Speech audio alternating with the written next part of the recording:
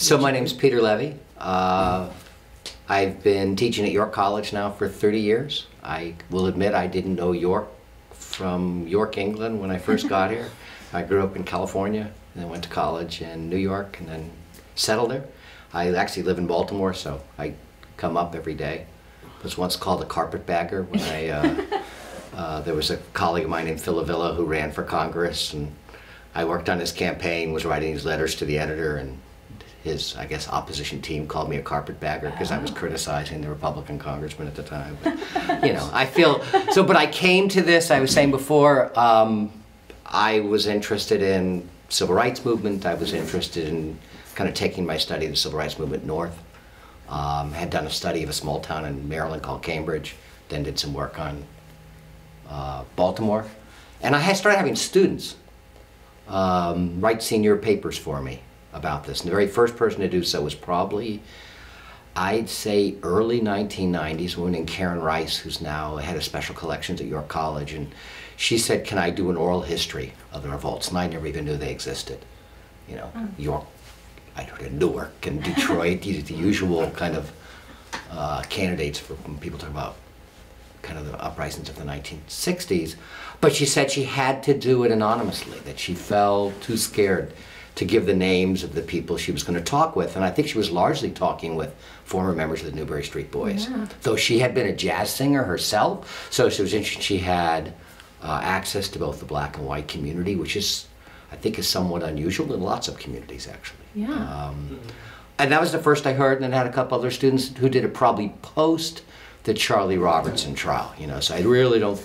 Uh, but I had a, I had another student who had been a journalist who went on to journalism, and she was one of the cluster of uh, reporters who uh, began to run the stories. It would have been on the anniversary, 1999, mm-hmm. um, that kind of coincided with, um, I guess, the DA's renewed interest in it. And my, from my outsider's perspective, that's when the community really started battling over whether this is a subject or not that should really be talked about in the open. I mean, yeah. The DA raised the case against Robertson, and um, there was a lot of pushback against it. And I, as a historian, was like, no, I think this is interesting. And then I probably around 2010, 11, I started digging it myself. So it was long after the trial itself was over. Oh, wow. But you had you were here, like you witnessed the trial. You got to sort of to a sense, except I mean, since I'm not local, I don't read the local newspapers. Okay. You know, I collected a file folder of them, and, and it was the days before stuff was digital as well. So yeah. you know, I could go back and get that stuff. Um, you know, or maybe you know, digital newspapers start around 1991, so it's uh, maybe they were there, but I didn't get it. Um, yeah, and and I guess I knew it was taking place, but probably I was ironically I was paying more attention. I was part of a 40th anniversary of a riot in Baltimore so they had a riot in 1968, so just not the Freddie Gray thing. So in 2008, I was on leave and doing stuff on Baltimore. And then I started thinking, well, could I write a book that talks about these subjects in general by comparing three different towns, like a small middle town, middle-sized and big city. Um, so that's why I came to this. Yeah. So when you started doing your research on York, what what sources were you using? Where did you go to find so first and foremost, the newspaper. I mean, that's what I, you know, it, it certainly wasn't easy to access. I wish, I wish newspapers.com existed then. It's, I don't know if you know what newspapers.com yeah. is, but, uh, you know, then it was literally, it would be down at the local historical society going through a microfilm reader like this, and there's no index or anything. So that was one. Um, government sources. Uh, there's, there was stuff in the uh, state archives from the governor's papers reporting on stuff, state, state troopers reports, governor's reports.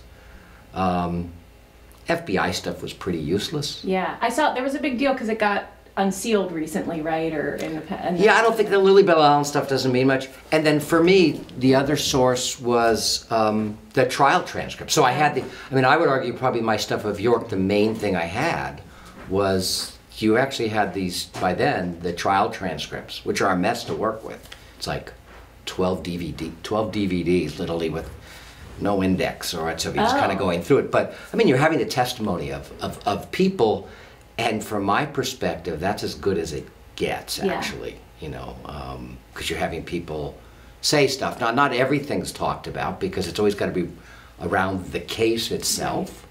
Um, actually, probably the second trial, that the trial not of Robertson, but the trial of, and now here's my names, I'm forgetting, the two black guys who were charged of. of Mm. Oh, in, Sh- in the Schaad Yeah, uh, because there was a surprise witness. One of the bro- one of the brothers says, "Yeah, we were there and we shot." Yeah. You know, but it's that when he starts talking about why.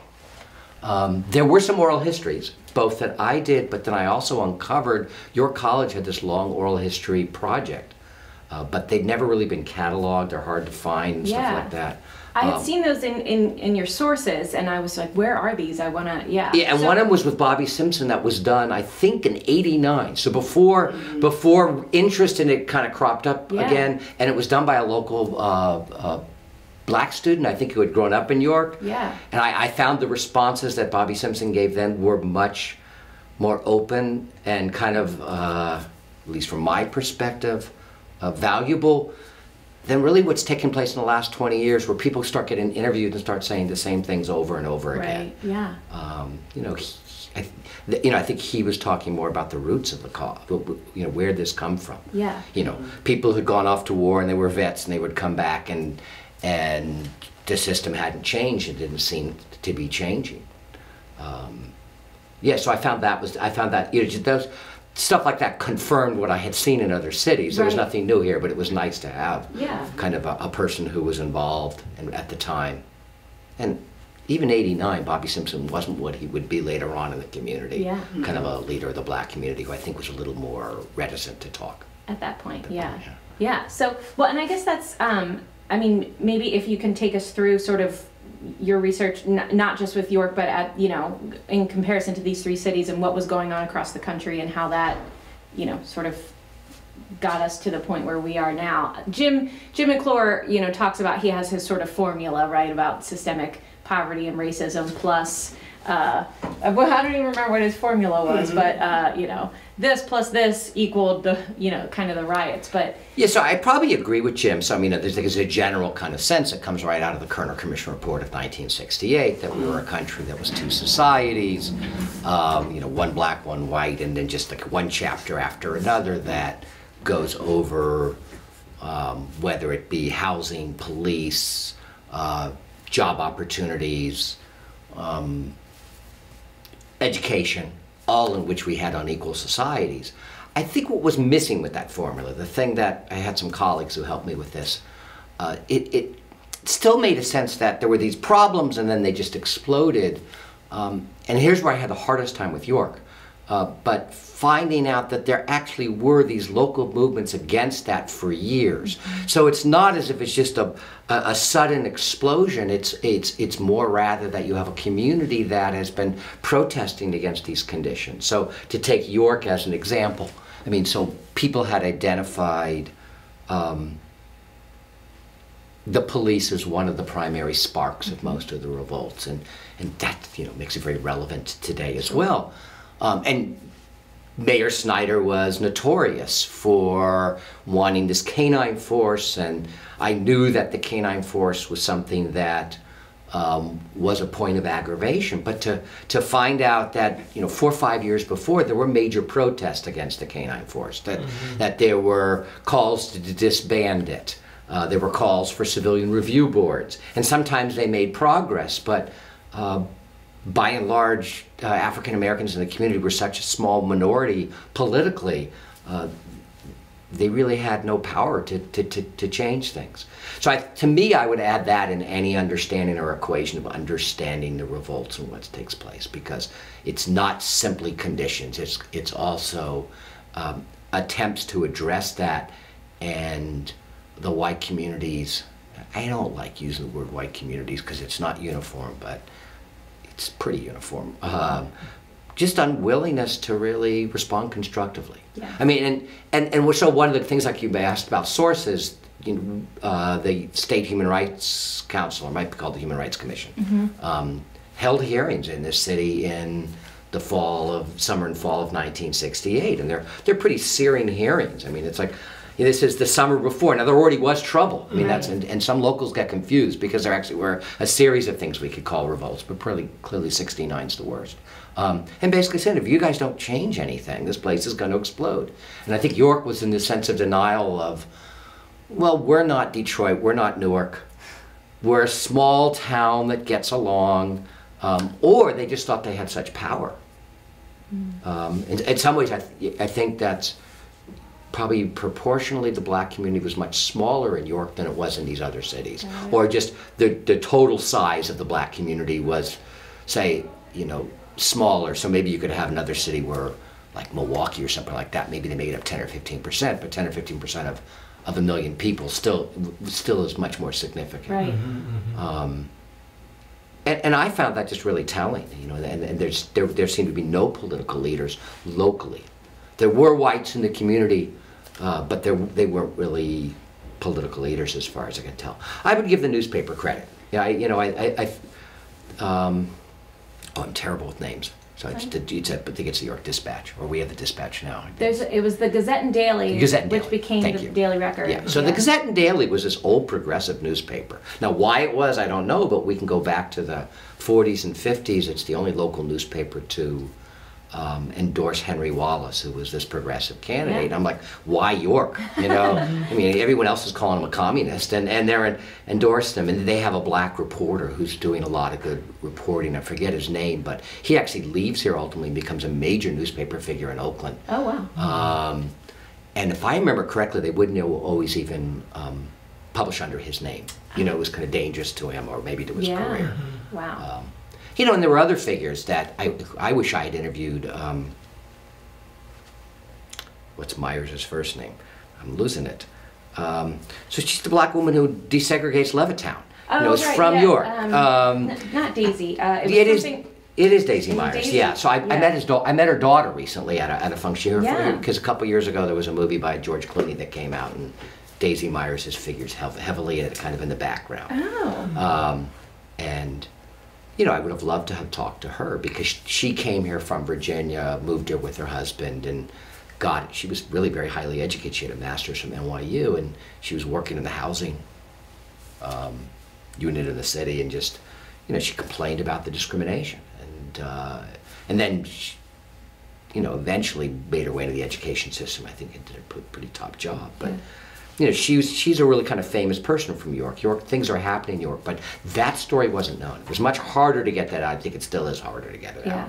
Well, and that we we touched a bit on that. So Jim McClure was talking about you know the redlining and and the the different you know deeds and and housing associations and the way that that people were kept you know where they were and, and prevented from doing that. But do you want to do you want to like tell Daisy's story just so we have the the content of it? and then, I don't know if you know. So as far as I remember Daisy Myers' story, she's from Virginia and she marries Frank.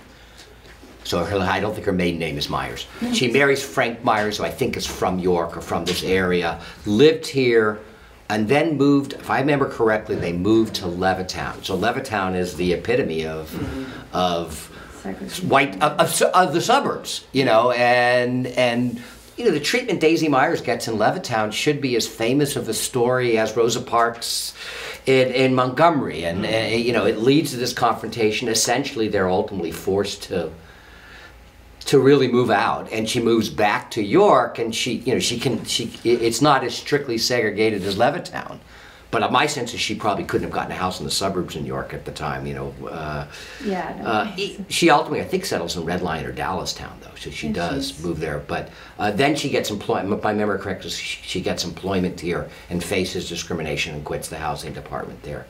Um, she had, as I said before, a master's in education, and at one point she did move into education. So there were opportunities, I think, by the early mid 70s for African Americans within the education system. But I think in many ways they were somewhat um, limited prior to that yeah. Yeah. She's amazing. um, you know, that just you touch on that. It's like you know, you should have like a historical market. This is they, they really should. This is where Daisy Myers is from, and at least tell now Levittown finally, 50, 60 years later, is recognizing Daisy Myers. Really? But it took some while for them to do that. Yeah. There always were members in the community. It's close to a Quaker community, and the Quakers supported her and who bought the house that she moved into Yeah. essentially, or worked with her. Um, But you know, she just she helps you understand that housing story, I think, better. Was there a sense in your research that in York, you know, you talk about them saying, okay, well, we're not Detroit, we're not, you know, some of these larger cities that are having these issues. Besides the Human Relations Commission telling them there was a problem, like, was there an awareness that this stuff was going on? Um, I think people would feign ignorance, but I think, of course, you know, I mean, there's there are protests. It's Yeah. in, you know, it's in the newspaper. So there's that. What there's one story where, um, God, I'm terrible with names. The publisher of the Gazette and Daily has lunch with Schmidt, who's like one of the big CNs of the city, at the Lafayette Building, and the newspaper had run an expose of the housing conditions in the city, and Schmidt saying, I should remember his name, the newspaper publisher, uh, is saying, God, I can't eat my breakfast. You know, this, you know, you're upsetting my ability to enjoy my day with this story. And the response of the publisher was then change the housing. yeah. You know, so there were investigations of it. Um, when I did oral histories, maybe they're feigning it, and I would ask about police and I would ask about the dogs. Yeah. It's probably pretty similar to today. I think, you know, people who I have no reason to think are just total racists have total different memories of the police and the dogs. Mm-hmm. You know, the, the dogs were pol- protection, or they remember them coming into their schools and showing off with the cops. And this was a period when police dogs and, would come in. Police dogs and policemen would come into schools, and I forgot it was like Captain Friendship or whatever they called. Officer you know. friendly. Off- officer Yeah, officer friendly, friendly, and yeah. so because they were never being attacked by the dogs. You know, I think you, you so you, know, you have the episode I think after one of the football games where kind of this mini revolt takes place and the dogs are being set loose on young black people because the white people they didn't have that similar experience with the dogs. Mm-hmm. As far as I can tell, even the white gangs, who I'm not sure if the police. Oh, my sense is the relationship with the police and the gangs is probably on again, off, on again, off again. You know, when the revolts take place, they're clearly siding with them, but maybe at other times they saw them as just a bunch of juvenile delinquents. I can't, you know, I can't tell you that. You know, Maybe I'm flavored too much by West Side Story. kind of their Officer Krupke's with, you know, these gangs, just stop it. But, but. Um, I don't know of any case where they went after them with the dogs Right. you know, for probably equal, or if not worse, um, kind of disruptive behavior, Yeah. teenage behavior, basically. Yeah, so that you know that's one place where clearly you see this people reading the world differently through oral histories. Um,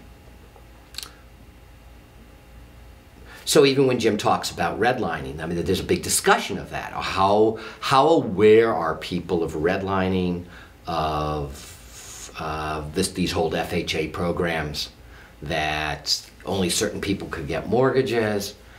That's I think that's still kind of debated among scholars. Clear, I think most scholars would say people knew, but what may be more important is they need to understand in retrospect that they had these privileges. And what they've tended to do instead is naturalize these differences and say, they, they, they just say, well, blacks lived in poor areas and they come up with these cultural explanations rather than there were these policies. Uh, and I think the crucial thing is um, one of the people I work with is this woman named Jeanne Theoharis, who's done just really great stuff on Rosa Parks. She's in, in New York City, um, and she really hates the uh, the term uh, de facto versus de jure segregation. So I think we have this notion that somehow in the South there's this de jure, this legal segregation. There were these policies that established this. Yet in the North, it just happened that way.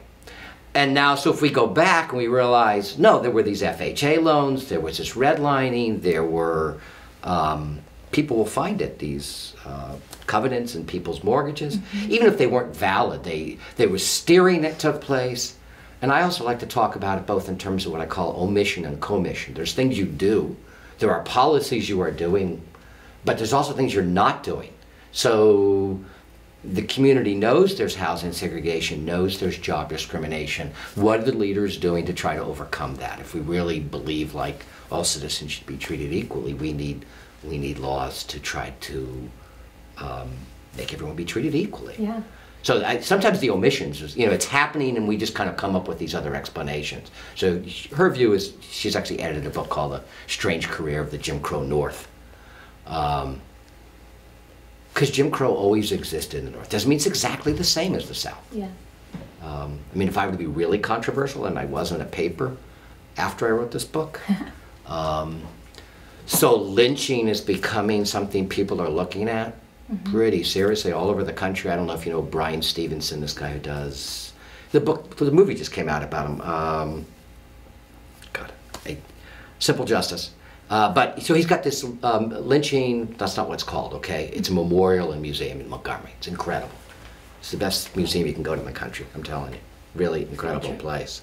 and so in the museum, because they don't want to be vicarious, um, they have a pitcher, wrong word, a jar with the dirt of where every lynching took place in America. But at this point, it's just Southern lynchings. We know lynchings took place of African Americans in the North.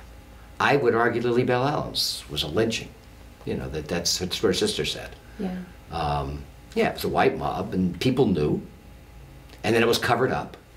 Um, there's a woman who's done studies of lynchings on the eastern shore of Maryland and says, you know, if we look at the memory of lynching, the black community's memory of a lynching and the white community's memory of lynchings is totally opposite. The whites there, they forget about it, they don't talk about it.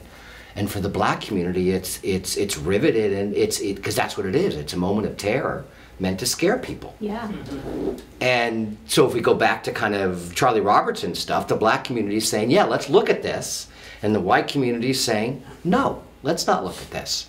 Um, and I think the white community's response to the verdict in the Schaad murders is, oh, we've finally, finally got justice. And at least a good- a good part of the black community is saying, no, we didn't. We didn't. It was an unfair system. Charlie Robertson had high representation. You know, he, he, and, and, and on top of it, why did it take so many years to even get him in the court in the first place? People knew they were electing this guy mayor. That's Well- that's one of the things I was going to ask you because we um, kind of like what you just said. So like they knew this had happened and this was talked about for years, but still became mayor. Like no matter what the past was or anything like that, they let it go and then just decided like okay, yeah, we're going to pick this guy. So with what kind of things that you wrote about and stuff that you talk about, memories being like whatever you make of them, right? So that's what. How do you feel as though like when you're talking to people and you're interviewing people, like do you see that like there's just selective history, like where we just like pick certain things, like we want to remember, and and and other things like that. There's just like. Uh, you know, you don't always say black and white, but like what we're talking about now, like you're saying, like white, white, white people view it this way, and they're saying like this is ah, it happened, okay, let it go, and then the, the trauma is still there for some. Yeah, I, I, so I think the problem is Yorkers actually are really sensitive and think it's only happened here. I mean, the, York is just an illustration of what's taking place across American history in lots of communities. Um, uh, I originally, in my book, wanted a chapter on memory, and I just couldn't write it. I, I, I couldn't figure out what my argument was. I couldn't figure out what my argument was. Uh, and I think, you know, so one of the questions, you know, because we're in a period like where all of a sudden, for example, civil rights history is, is gigantic. The, I think it's awesome that the African American History Museum in Washington, D.C. is like, you have to get tickets to go, it's so popular. Um, back in Montgomery, I am certain that the government of Montgomery wasn't excited when they say we're going to have a lynching memorial. It is turning that city around. Literally, like, probably if we were to get together with kind of the Scions of York and say, what we really need to do is we need kind of a museum of northern racism, and it should be in York. Not because York had it worse than other cities, but because, you know, why not? You know, Yeah. Gettysburg had a battle, and Lancaster had, you know, James Buchanan or something like that. And, you know, just why not? It's on the trail, you know. Yeah. And, um, I don't think there'd be that much support on, you know, I, I, people don't really want to talk about the traumatic stuff. I mean, it is traumatic. Trauma's hard to deal with. The white community doesn't want to talk about it. They would, they will, let's be boosters. Let's only show the good, the good stuff. That came out right from the moment I first started this book, which was 40 years ago almost, when I went to Cambridge, Maryland, a town I had never heard of. And the first person I interviewed was the state senator, a guy named Frederick Malkus. If you've ever been down to like the Eastern Shore mm-hmm. and driven across the bridge. You drive across the bridge with his name. So mm-hmm. this guy was like a bigwig for 40 years. Is why would you want to peel that boil back? Why would you want to do this? Why would you want to talk about something that's uncomfortable? Where the black community was much more comfortable talking about, actually not so much the right they had, but um, th- this vibrant civil rights movement that had existed in this city, and they wanted that story told. Mm-hmm. And now, it's fact, that's coming out. Harriet Tubman has a museum about her now. There's some Gloria Richardson. I think yesterday was Gloria Richardson Day in the state of Maryland. Maybe we should have Lillie Belle Allen Day in the state of yeah, yeah, in the state of state of Pennsylvania, or Daisy Myers Day in the state of Pennsylvania.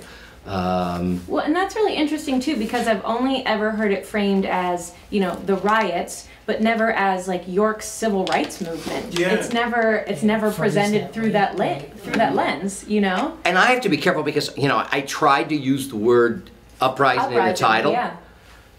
and revolts. I fall back into riots because it's just a language Well, people use. they- but I, but I, I would, I'd actually prefer not because I think once again riots make it like this, this single spontaneous moment rather than part of a continuum. Yeah. Yeah, Like ri- riots just sound lots, reactionary yeah. rather than revolt sounding like not just reactionary, but it sounds like re- to me revolts have a purpose, Yeah. whereas Yeah. riots Well, an like, uprising Yeah. has that, you know, metaphorical. Mhm. I mean, Yeah, so one of the other colleagues I, I, I, I work with is a guy who's looked at uprising internationally or revolts internationally. So if I said to you the name like the the uprising in Warsaw or the revolt in Warsaw, they understand, well, this was an uprising kind of the Jews in this ghetto before they all got decimated by the Nazis. And people don't see it as, oh, a bunch of kids go through the street and start looting, building, building, burning buildings without any reason whatsoever. Right. oppression. That's Yeah, what I was yeah. looking for. It's like Yeah. a kind of oppression. Yeah. yeah. Mm. and it is a continuum too and, and, and you all thought that's it, what comes afterwards. I think the other problem is so often we, we get this image of of the first time i taught a civil rights course. So you know i'm still the i'm still getting educated okay? My students are still educating me. Uh, so this was 19 mid 80s late 80s and i taught a course in rutgers at rutgers newark. I was teaching there at the time and we kind of got to the very end of the civil rights course. Uh, and they said let's talk about the, the, the newark and i called it riots. And some student in class it wasn't me fortunately said well why did the blacks burn down their own city? And you could still see the scars in newark of their 1967 revolt.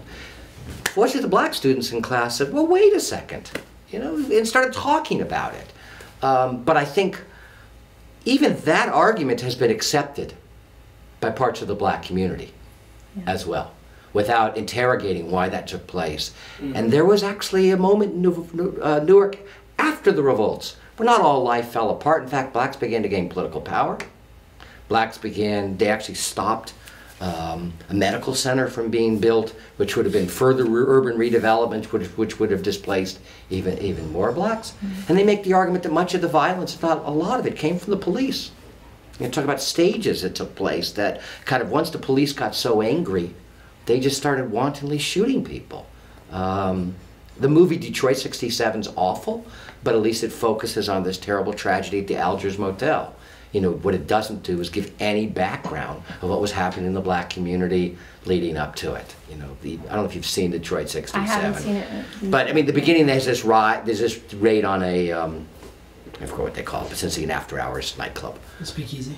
Yeah, it had a different name. I forgot what they were called in Detroit or something. But anyway, you know, they were regular. They couldn't get a liquor license past 2 o'clock. Mm-hmm. Uh, and in fact, what they don't tell you is that this was a place where political mobilization had been taking place for years. Mm-hmm. It wasn't just some place to hang out. You know, so the police were raiding something not just because people were drinking late and dancing. Mm-hmm. Right. This was a place where people were mobilizing politically. And Detroit's another city where blacks gained political power after the revolt rather than. I'm, I'm going astray here. So the other memory that's really different, really different. Um, whites generally have the memory that everything went crappy in the city after the, the riots. The riots caused white flight, um, which is just all you have to do is graph population and see that the population of the city was its highest in the 50s. It remained kind of stable, but only because the black population continued to grow, but the white population was declining at the same rate from 1950 to 1970 as it did afterwards. And, you know, unless everyone moved out from July of 69 to the time the census was taken in January 70, which didn't take place. So Yeah. that's their memory. And same type of thing with like downtown shopping. They, you know, there's this nostalgia about all the downtown shopping when in fact they were already making these shopping centers in the suburbs because that's where the customers preferred to shop. Yeah. And that's true in every city. Uh, in Baltimore, it's even worse in some ways because there was this row of famous department stores. But York had that, where people have these memories of going downtown and, and, and you know dressing up and. But those stores were already starting to be kind of economically not less profitable, more more marginal. Uh, and housing, same thing.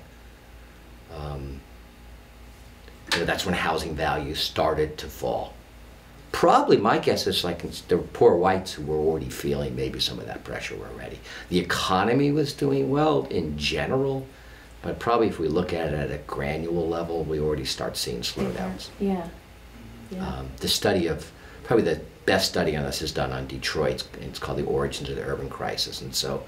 You know, the GM looks like it's doing gangbusters throughout the 1960s, but in fact, their factories are moving to the newer factories in the suburbs. African Americans disproportionately have a hard time getting there because it's all an uh, automobile culture. There's no public transportation out there. They're already in the lower skilled jobs. You know, they, they haven't been able to move up as easily to the foremans and management. So whites, once again, Detroit have this memory of the riots destroying Detroit, when in fact it was already an incredibly distressed city, and I think York's the same way. Well, that's what we talked about uh, earlier with Jim about the, uh, what did you guys call it? The, uh, help me out here. What? The Right. meeting that they had. Oh, the charrette. The charrettes. Yeah, the we had the charrette. charrette. It led to public transportation, kind of helping like others get jobs and stuff that didn't have transportation like outside of the city. So it was kind of the same. Uh, what you're talking about, like what happened in Detroit, where they were able to get these other means of transportation and stuff to find other opportunities, but still weren't always, I mean, afforded to them. I guess I should say. Yeah, and I yeah, and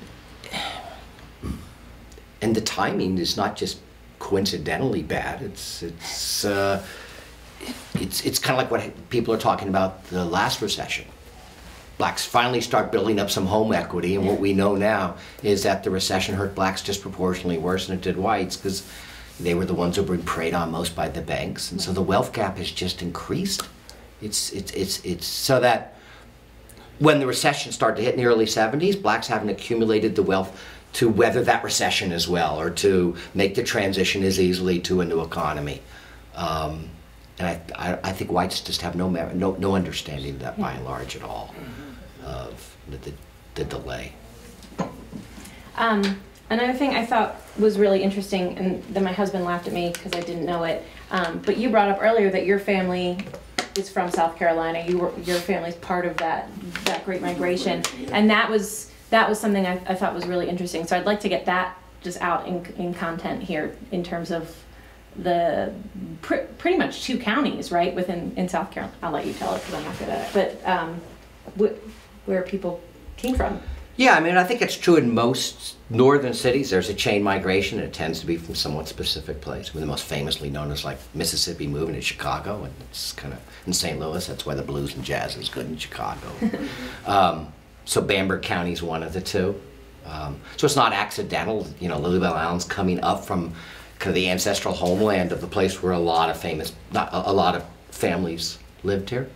Um, and not just York. She's actually on the way to Brooklyn to visit her brother and thinking about moving there permanently. But she has deep roots in South Carolina.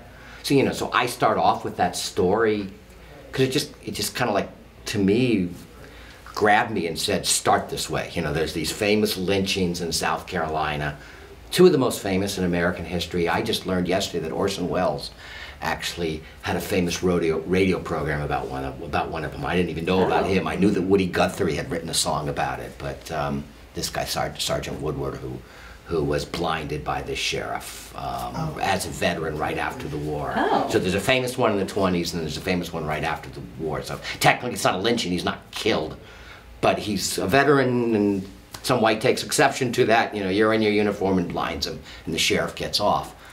You know, and then to come to a city and then essentially have this with maybe these expectations that things are better in the north, and the conditions really aren't that much different. Um, yeah, so I don't, I don't know what else. I, I think maybe my guess is that that probably uh, to a certain extent, helped the African American community have greater deal of resistance. That you know, you, you so you know there is a sense of community within the African American community. It's not just people coming from all over. I mean, this is a story of any migrant group. I mean, when my grandfather died at I don't know age 92 or 93, my dad was out of the country, and I had to go, um, you know, help take care of her. And she still remembered her husband moving her to the Polish neighborhood. She was Jewish Polish, but that was like, no, wrong neighborhood, you know. She wanted, and ultimately within two years, it was, you know, she had 13 brothers and sisters and cousins around. You know, I, I think that was part of the strength that I wish I knew more about. I think Ophelia's doing an incredible job of recapturing that history. You know, and interesting, she's an outsider, you know. Yeah. Um, evidently you guys are doing the same thing you know kind of recapturing that history and saying there was a there was a community they built churches you know within schools there were you know these, this group the players that used to do performances Yeah. and there were probably tons of other things that you know i don't know about that you know if, if i had another 20 years to write the book i'd probably spend more time doing that because i think that's really crucial too Yeah. Had you done much um, on the what is that the Codorus neighborhood? Is that what it's? yeah not as much yeah Okay. not really much post Yeah. yeah I had um, I watched a video uh, just maybe last night or two nights ago. I had no idea there was um, there was a, a, a black neighborhood in Manhattan called Seneca Seneca Park or Seneca Hills that was decimated to build Central Park.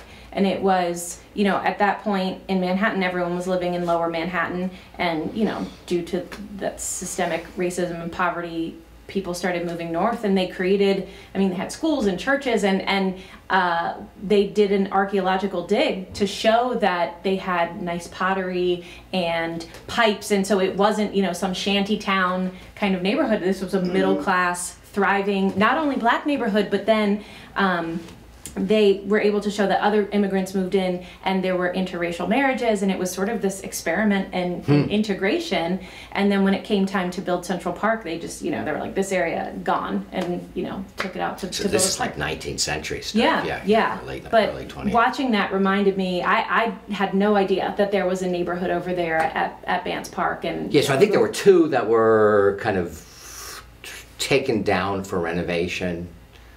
Well, not renovation, Yeah, urban yeah. renewal. yeah Um, I knew so yeah I did that I one- don't know how. I mean, so that when people talk about it, they talk about a sense of community. Everyone knew everyone in the neighborhood. It's easy to see it as nostalgic, but I think there's a certain degree of truth about that. You know, and and people married each other, went to school together, and so you disrupt that, I think that has an impact.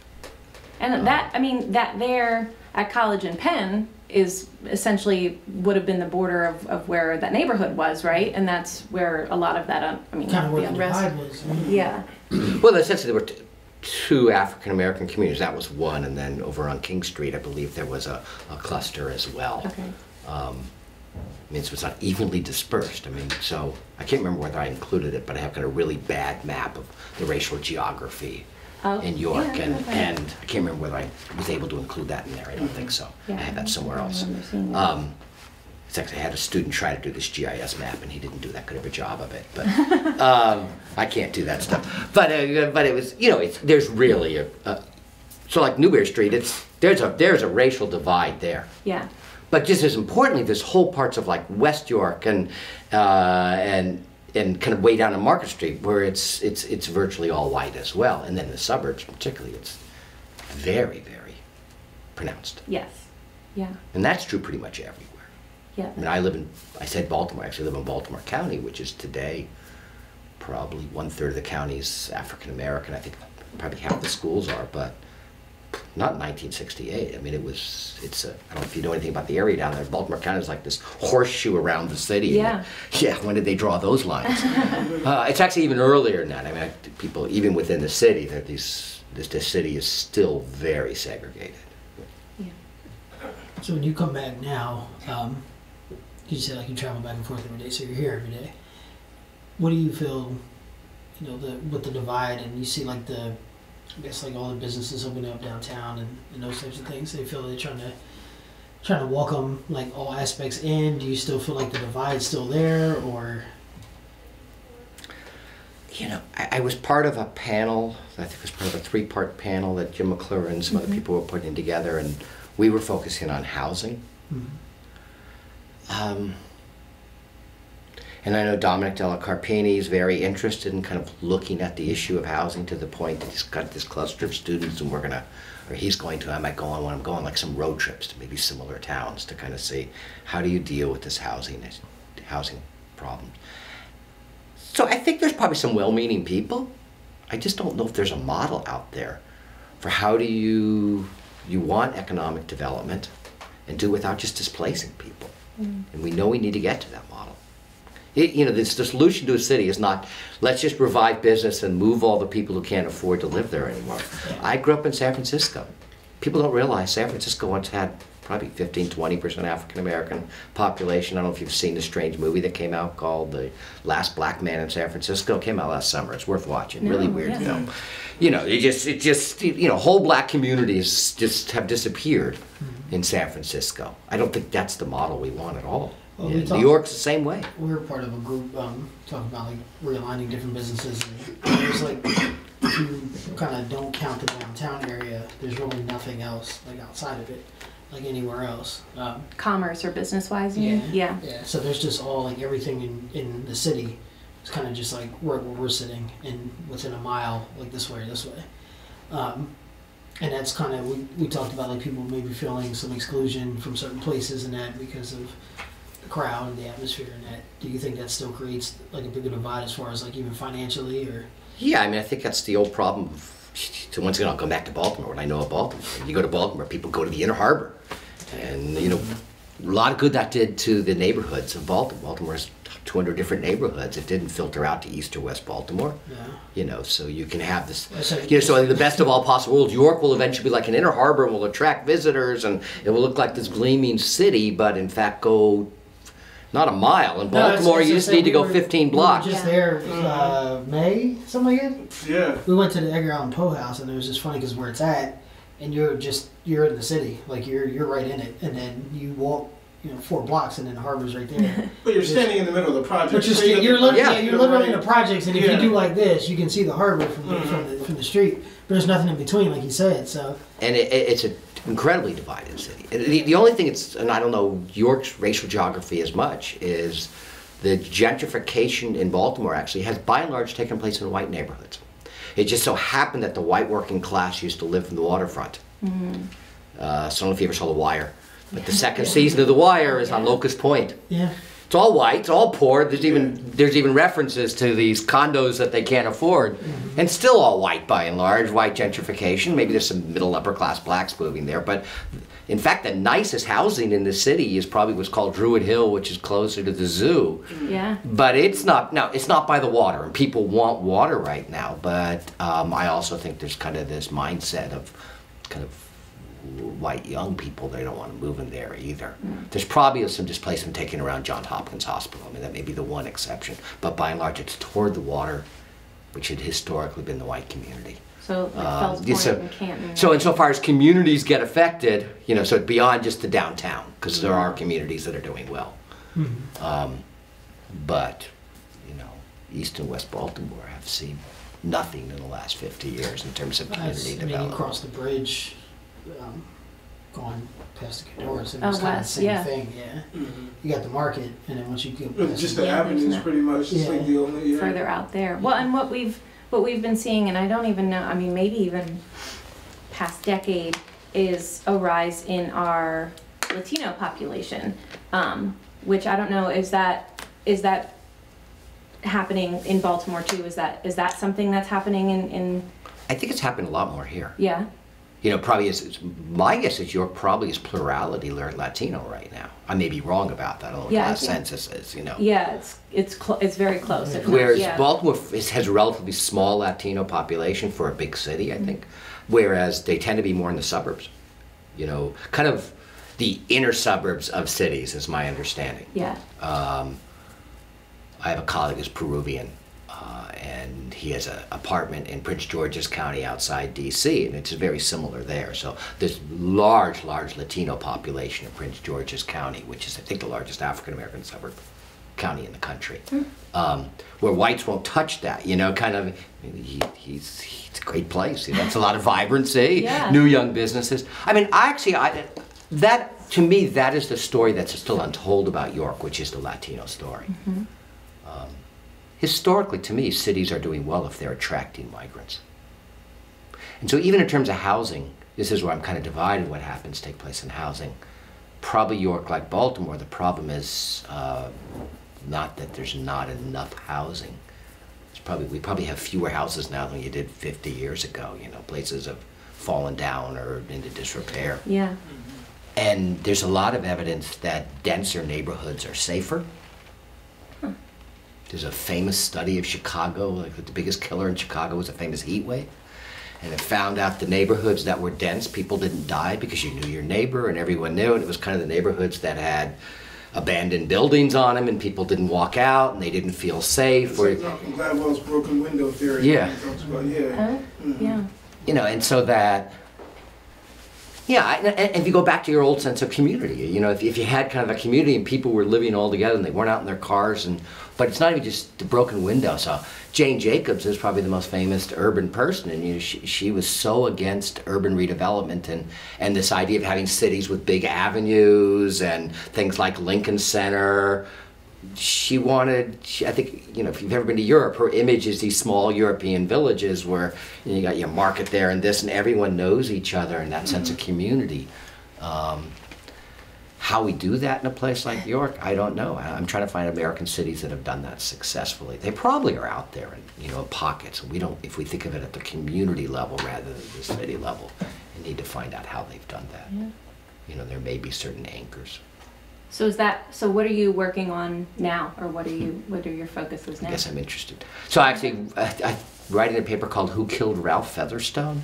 So uh, there was this famous black radical A. Brown, and he was to be tried for inciting a riot in Cambridge, Maryland, but the trial had been moved. Uh, the day the trial was supposed to, the night before the trial was supposed to stop, uh, a bomb blew off, killing two of his colleagues right from the beginning, there were two different narratives of what had happened. So this is in a, a period where there's a wave of bombings. Probably the most famous one had taken place a couple days ago, a couple days before, where these white new leftists had blown themselves up in a in a uh, Greenwich Village townhouse. I think it was owned by Dennis Dustin Hoffman or something like. that. So it was really headline news. Yeah. So the two different narratives. Well, they had the bomb. They intended to do this nefarious stuff, and they killed themselves. They blew themselves up. And the other narrative, all the black community saying, "No, these guys were assassinated. Uh, they thought A. Brown was in the car and were trying to kill him." This is 19, early 1970, before anyone had heard of COINTELPRO. Anyone had heard about the, you know, the assassination of Fred Hampton, or maybe, you know, maybe in the community there was discussion but there was no public acknowledgement of it. Um, I was able, after doing an FIA, FOIA kind of request, finally get Featherstone's files. I can't prove he was assassinated. I just don't have that stuff. What I can prove is the government really wasn't that concerned with solving the case. Yeah. What it was more concerned about was hiding the identities of thousands of confidential informants it had everywhere, of making sure news of COINTELPRO didn't get out. Um, so I'm also interested in media representations of it. Um, the Washington Post reporter who writes the first stories, Carl Bernstein of the Bernstein Woodward fame. Um, it's a terribly racist article. It's like these black militants. He's been to Cuba. He's anti-Semitic, which really translates into he's pro-Palestinian. Um, so, so it just it frames the reader's view that yes, this guy is a guy who blew himself up with a bomb. He's a um, what's the word they use for it?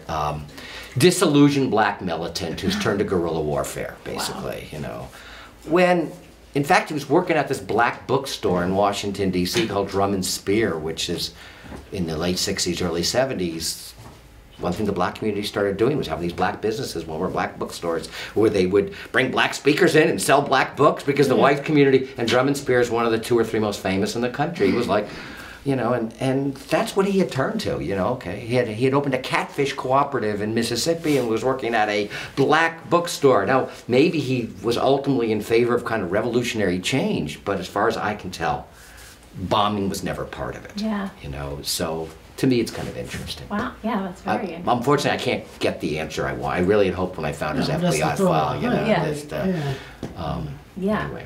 But that seems, I mean, a lot of what we've been seeing and, and talking about too is that idea of, you know, let's not, we've already had this incident happen, let's not ruffle any more feathers, let's kind of, you know, smooth things over. And, Or take the first thing you read as the gospel. Well, like it's yeah. been, yeah. but in some cases, I mean, I think we were lucky here to have the media representation and asking the questions that, that they did do. Although probably not every, well, I know not everyone felt that way. That Well, was a good thing or. So, you know, if I were to come full circle on it, the big question is imagine if York had had a black newspaper. yeah. Would it have reported it differently? You know, would the story have died down? You know, would we have more of a history? As, as good as the Gazette and Daily is, and it's in financial trouble by the end of the 60s as well. Yeah. You know, and, that, and we got to think about that kind of, it's not just the newspaper and the publisher, but kind of the p- political economy of publishing, you know, of what, of what news gets told. Um, and people, and, and, they're getting, the, the editor knows, the publisher knows, you know, you publish your stuff, you're losing viewers, you're, Yeah. lo- you're losing subscribers, and they have this rival newspaper that is just awful on the issue. Yeah. Um, so if there had been a black newspaper here, because you know that's that's true, I think throughout history, we would like that source, and even that black newspaper probably would have been fairly middle class. You know, it, it, it wouldn't have been a black power advocate newspaper, but it would have been more sympathetic Yeah. to, I, I, I think, um, the militants in the city. It wouldn't have portrayed them as, as the way they were at the time. Yeah. And probably 40 years later, when the trial comes up, too, I think. Um, I don't know the politics of York That's, community at all, but Yeah. yeah, I don't know if it's that good.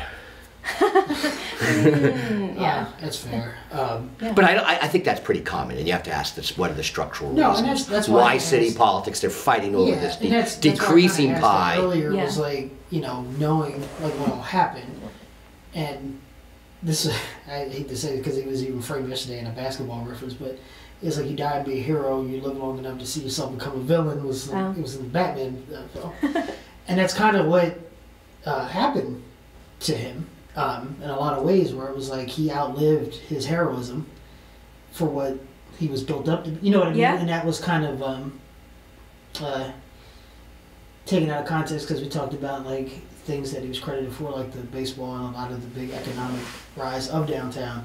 But then it was like come to find out that was actually the next administration and everything. But they always acted like he got the ball moving. So Robertson, you're Yeah. talking about? Yes, yeah. yeah, yeah, and um, and that's what we said. Like you see a, a town like this, and then people's just thinking of just for just not wanting to think about those things, and you know, you elected this guy who many in the black community always knew that he was involved in some way.